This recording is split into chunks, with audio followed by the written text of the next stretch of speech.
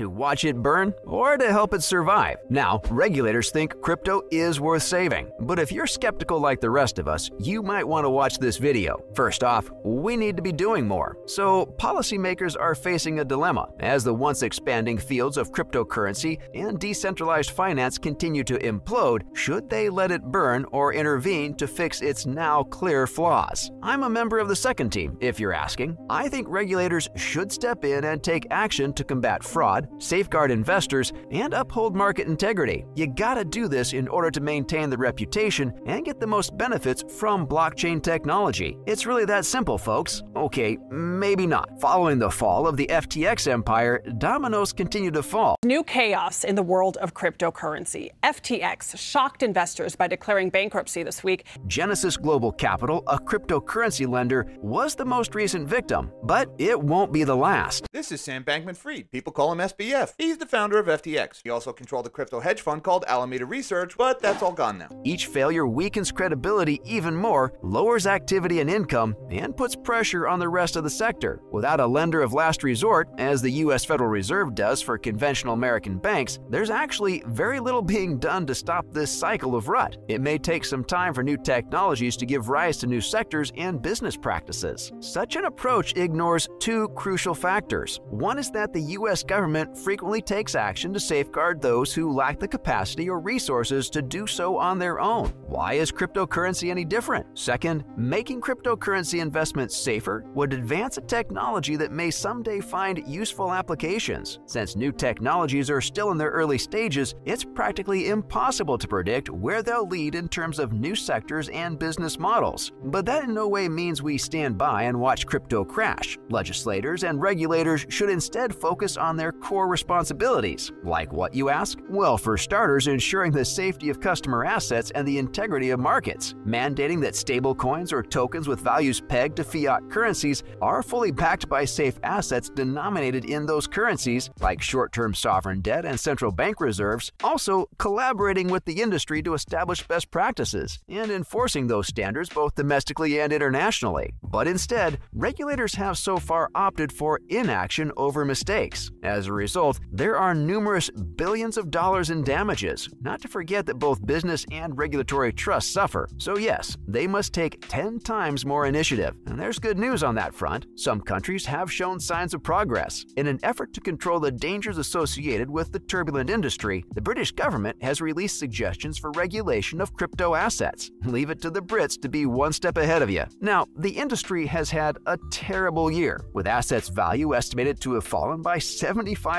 from its peak of roughly $3 trillion in November 2021. According to ministers, up to 10% of UK adults now hold cryptocurrency. Rather than designing a custom regime, they intend to employ the industry's current regulations. As per the Treasury, this will provide cryptocurrency access to the trust, credibility, and regulatory clarity of the current financial services system. The goal is to level the playing field between established and new financial services by implementing the same risk, same regulatory result principle. Ain't that smart? They're also smart enough to note that some cryptocurrency enterprises may merely decide to carry on doing business in foreign nations, so they can get away with shady business in countries that won't enforce market abuse rules, of course. Some of their measures are to prohibit pump and dump schemes. That's when a person fraudulently inflates the value of a cryptocurrency asset before selling it. They're also looking to put standards for fair and unambiguous advertising on such assets, as well as enhanced data reporting and stricter rules. Hopefully, these measures will boost the advantages while mitigating the most pressing dangers associated with crypto technologies. As an investor, it'd surely give me confidence. It's not that easy though. Even in 2021, when the cryptocurrency market was thriving, there were numerous requests for regulation. The cries for order have grown louder since the mayhem of 2022. Thanks to all the scandals, hacks, and scams, hundreds of billions of pounds were eliminated from the cryptocurrency market. Businesses and individuals went bankrupt.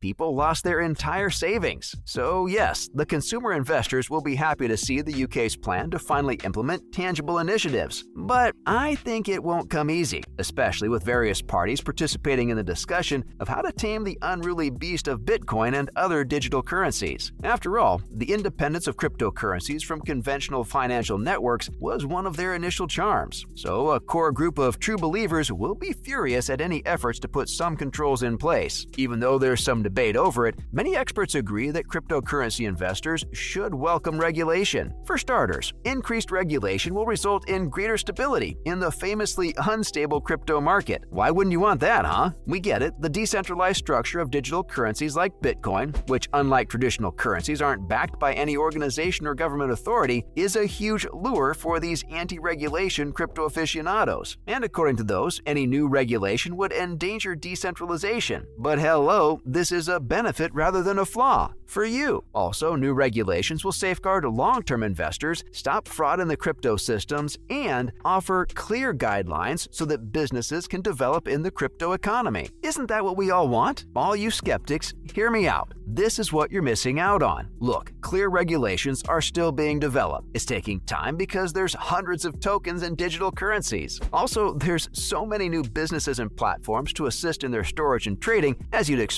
it's left the sector in the dark. But recent discussions on Capitol Hill indicate that the question isn't when there'll be more regulation, but rather if there'll be. At the same time, new crypto law pertaining to taxation was approved by President Biden late last year as part of the $1.2 trillion bipartisan infrastructure agreement. Also, the Federal Reserve is considering launching digital money for the United States. That's a step in the right direction, right? Because there's little oversight in the cryptocurrency sector, it was famously compared to the Wild West. Naturally, a lack of regulations leave a lot of room for market manipulation, fraud, and other dishonest practices. With regulatory guidelines in place, we could see a drop in crypto asset speculation. You know, the thing that makes your money tank out of nowhere? Also, increased investor confidence brought on by less speculative activity may entice additional long-term investors too. Don't you know so many people who have shunned the extremely volatile and speculative crypto sector? Can't blame them. We've all heard one horrifying crypto bro story or end up becoming one of them. All rosy glasses aside, what can we expect from this cryptoverse? What's your best bet? Even if it doesn't attract more people, it might change how they behave and perceive crypto. Long-term responses to regulation from the price-sensitive asset class are difficult to forecast, mainly because they depend on the US government's decision to be more lenient or strict. The fear is real, though, that any additional regulation might trigger irrational investor responses to the markets in the short term, which would only suppress cryptocurrency trading values. To be clear, new regulations will also hinder anyone looking to make quick money. No, Jared, this coin won't take you to the moon.